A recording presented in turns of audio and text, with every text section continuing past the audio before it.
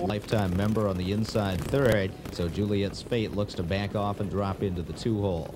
Racing in fourth as they circle the turn, Genuine Lady Wienerschnitzel is gapped slightly fifth.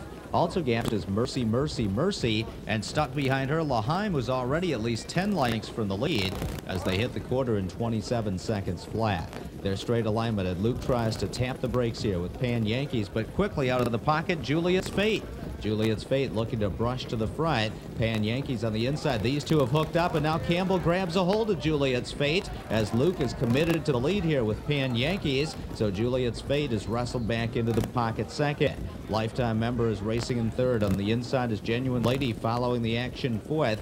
Wienerschnitzel is fifth. Mercy, Mercy, Mercy is sixth. A half and 54 and three. And Laheim still trails the field. Nobody making a move on Pan Yankees right now is obviously committed to the front end. Juliet's Fate is right in behind her. Wienerschnitzel quickly rushes up on the outside. And Mercy, Mercy, Mercy gaps that cover slightly. Laheim gets out to follow her. Lifetime member has pace, but nowhere to go. She's trapped in. And also shuffled out of it. Genuine Lady Brennan a hard hold of her. And Wienerschnitzel on the outside has taken the lead from Pan Yankees. Three quarters in 123 and four. They come to the top of the stretch, and it's Wienerschnitzel beginning to draw away. Pan Yankees is two and a half lengths back second. Mercy, Mercy, Mercy kicking in with her late rally toward the outside. Lifetime member trying to close up the rail. Laheim on the far outside. Wienerschnitzel tiring. Mercy, Mercy, Mercy trying to get by.